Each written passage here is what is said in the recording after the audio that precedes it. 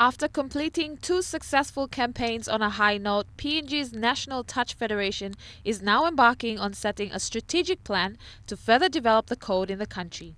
Among the focus areas that include equipping players and coaching staff with the necessary skills and knowledge of the game, the National Federation have implemented four short-term goals.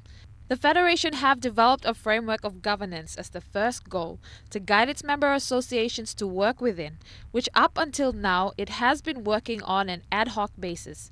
The framework will allow clubs and member associations to further develop and mold players from all levels of competition, and have also developed a retainment strategy to keep all its elite players within the code.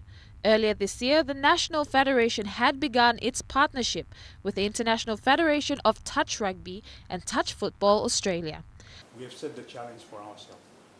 And firstly, to retain the rankings that we have. And secondly, to go up. And the goal we have set, and Touch Football PNG is now working tirelessly toward that, that is that in the World Cup for 2019, we want to be the world champions if we didn't, if we were not even in the rankings anyway, and came up to, to be the third in the world, we can confidently say that we can beat Australia and New Zealand to be the world champions in the sport of touch.